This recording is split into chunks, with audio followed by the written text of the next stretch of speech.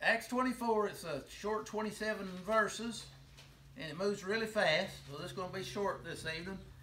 But it wasn't short for, for, for Paul, because uh, he's in prison two years in this chapter, I think.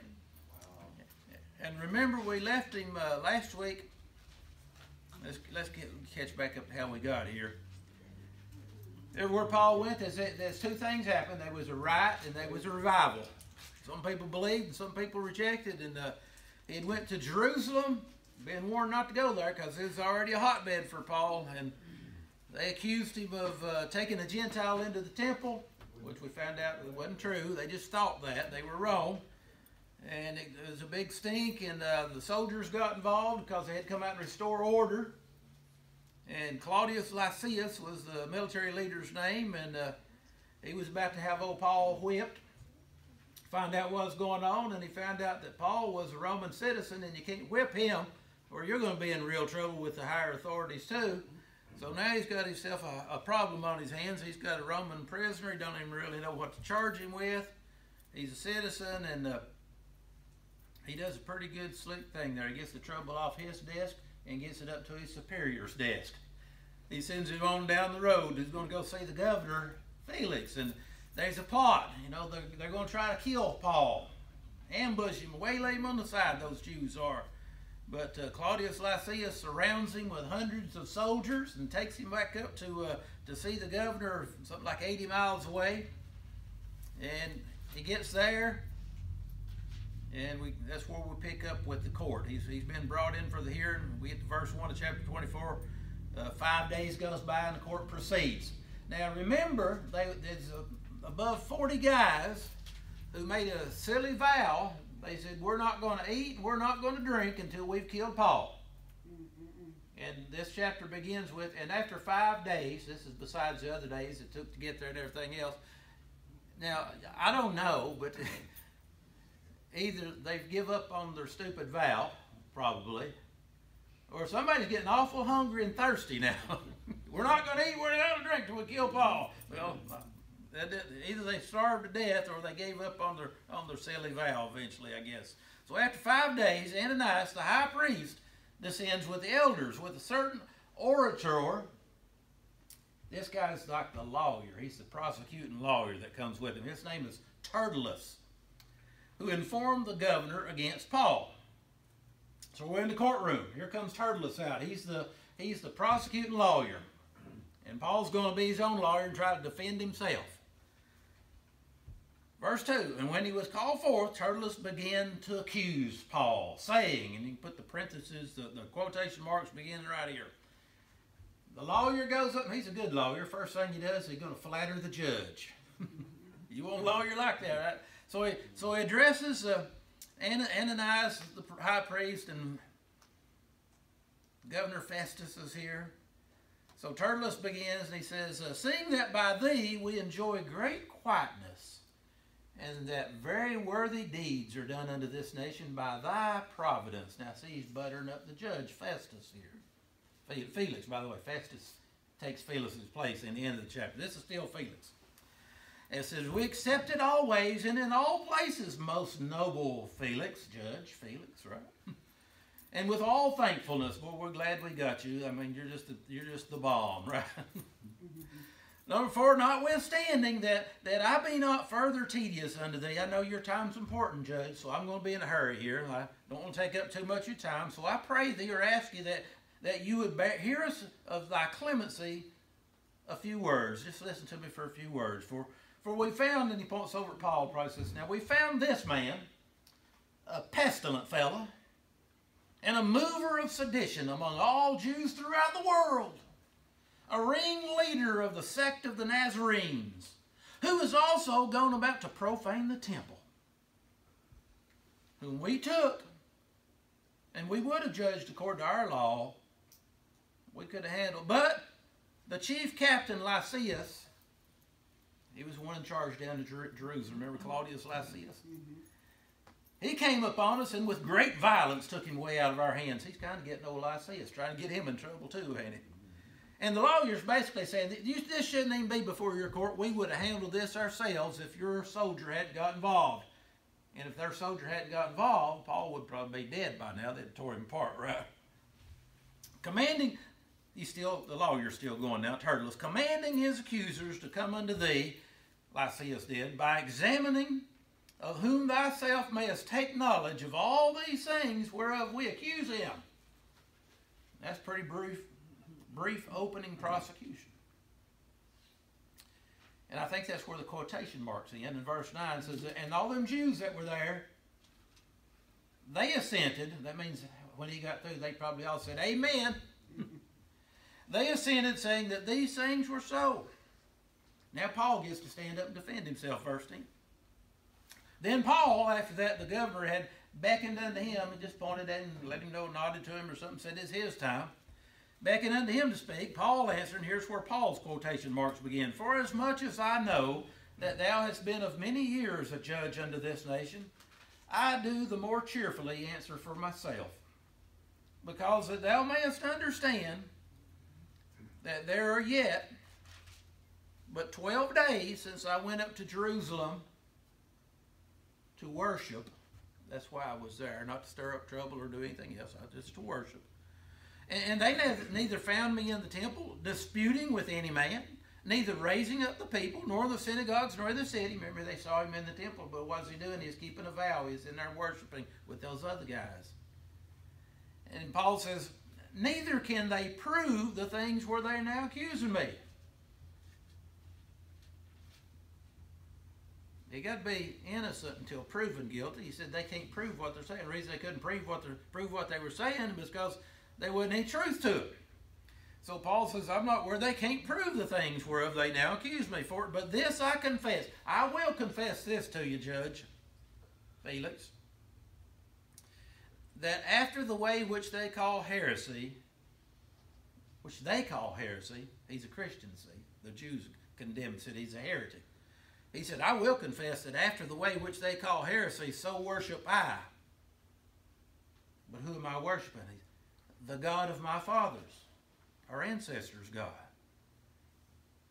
Because Paul understood, the way we Christians understood, that Christianity wasn't a brand new religion over and opposed against Judaism, but Christianity was the fulfillment of Judaism, that the Messiah has come in Jesus Christ. It, it's all a matter of whether you accept or reject that Jesus is the Jewish Messiah the Christ, that's what it means, the Messiah.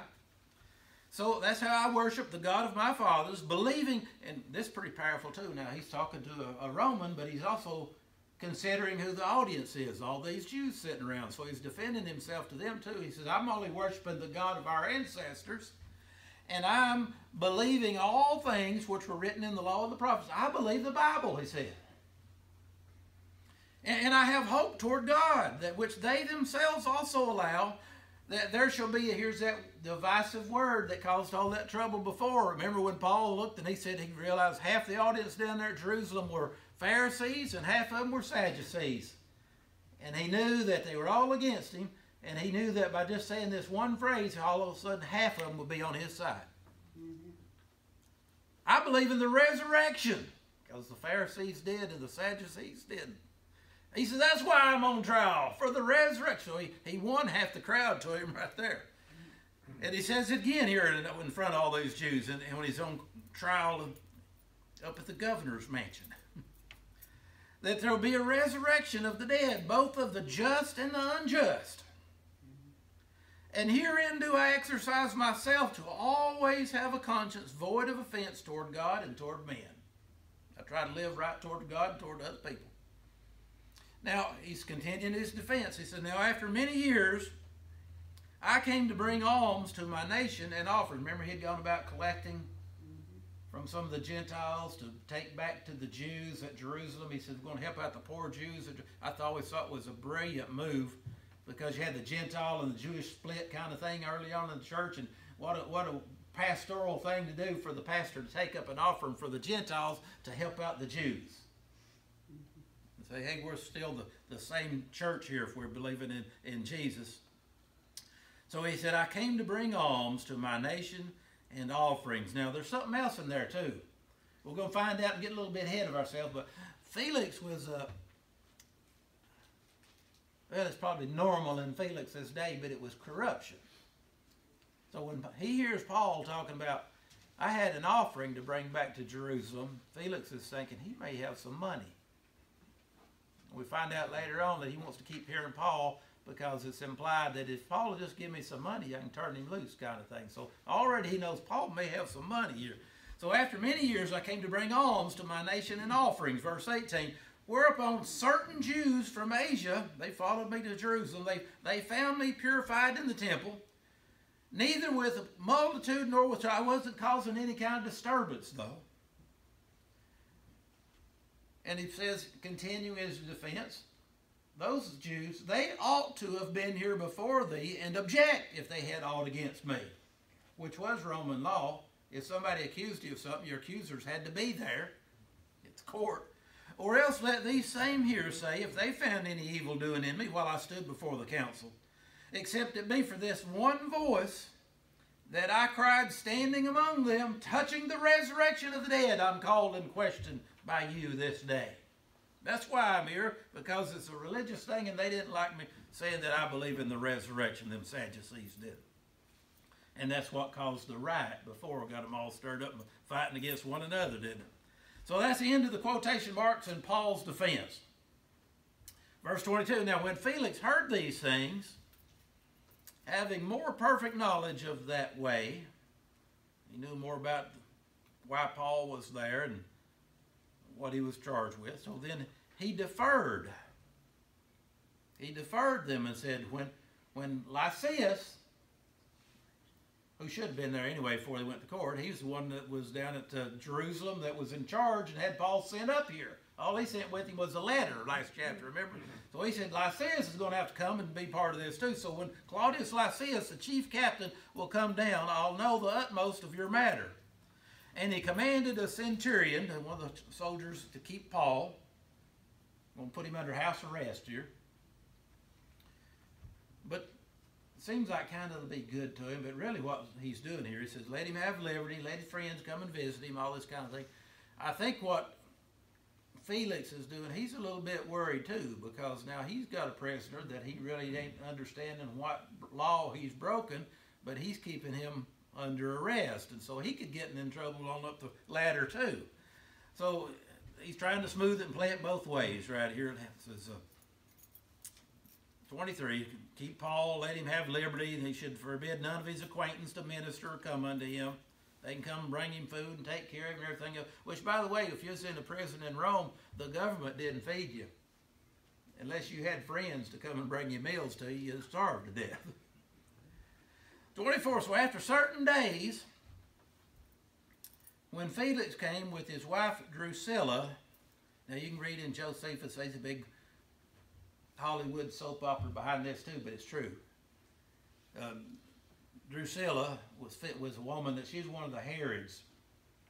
They's all crazy anyway. Remember the King Herod and all that family? A lot of them went insane and everything. Well, he'd stole one of them's wife. That's who Drusilla is. He'd stole her from another guy here. And now Felix made her his wife. Drusilla is her name. She was a Jewess, see, so she's she's familiar with the Jewish religion. And and he sent for Paul and heard to him concerning the faith in Christ. So his wife probably wanted to hear more now. Said, go get that prisoner, let's let's see what he's got to say. Now, Paul comes and he's explaining to Felix about what this Christianity thing is, still called the way back in that day. And he, he explained to Felix, Felix, and it says, uh, verse 25, this is really a powerful verse. As he reasoned of righteousness, Paul telling Felix about the faith in Christ, and as Felix, as he reasoned of righteousness, temperance or self control, and judgment to come, Felix trembled. Now, you got to think about this for a minute. Paul's explaining Christianity to Felix and his wife. Paul's a pretty good preacher. Everybody agrees with that. and he's got an audience of Felix and his wife, and he's telling what this Christianity thing is. And it's more than just Paul there. The Holy Ghost of God shows up, and Felix gets under conviction. It says he trembles. Now, I point out to you, Felix wasn't acting right here. I think it, the Bible says he trembled. He wasn't acting like he was interested. He really did get under conviction, I believe. As Paul's explaining about eternity for him, uh, righteousness, doing the right thing, having self control, and the judgment to come. And it says, Felix trembled. And Felix answered and said to, to Paul, Go your way for this time, and when I have a convenient season, I'll call for thee.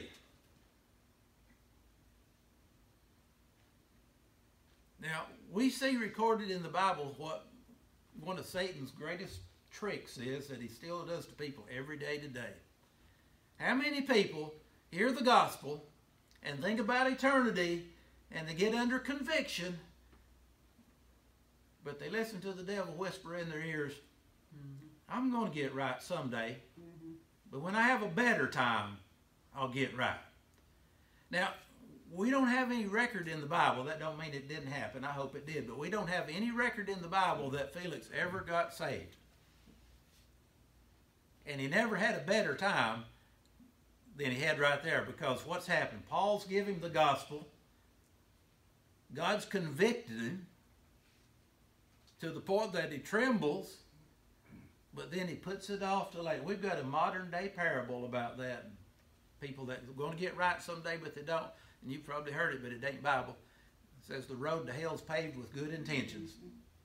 There's a lot of people probably in hell today, I guarantee you, that had good intentions that they was going to get right someday. But just not today when I've got a better time. But that's why the Bible says, boast not yourself of tomorrow, because you don't know what a day may bring forth. That's why God says now is the accepted time, and today is the day of salvation. And old Felix said, Paul, I'm going to have you come back and talk to me later on, and maybe then, or maybe next time, and uh, when I have a more convenient time, when it's when I have a, a, a more reasonable time, I'll, I'll, I'll do it. I'll, I'll call for you. Don't call me, I'll call you, right?